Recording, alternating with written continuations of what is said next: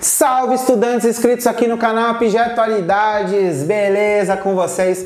Quem está falando aqui é o professor Oswaldo e no vídeo de hoje nós vamos entrar num tema bem bacana, aonde nós vamos conhecer os tipos de chuvas.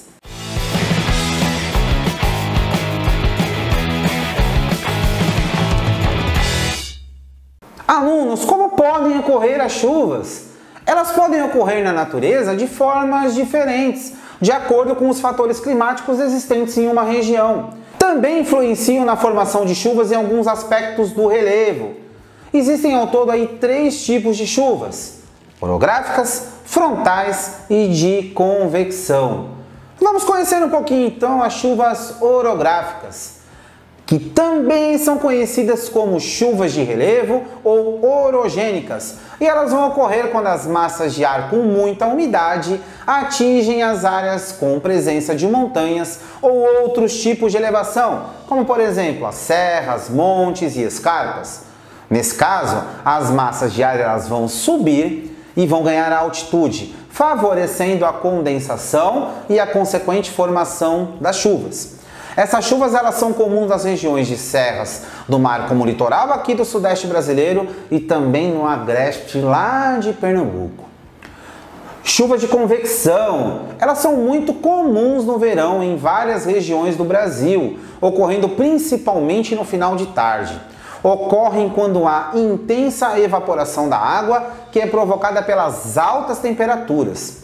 Essa evaporação ela forma nuvens carregadas de muita umidade e essas nuvens vão ganhar uma altitude elevada, impulsionada pelo movimento vertical do ar, onde ocorrem as precipitações, ou seja, onde ocorrem as chuvas.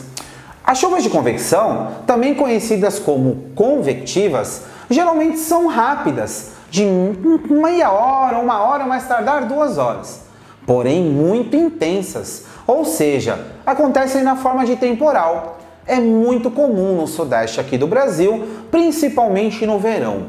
Elas acontecem também com frequência lá na zona equatorial, beleza? Já indo para chuvas frontais, elas ocorrem quando há um encontro entre uma massa de ar quente com uma massa de ar fria. Neste choque, a massa de ar fria e seca, que é a mais densa, ela vai impulsionar para cima a massa de ar quente e úmida.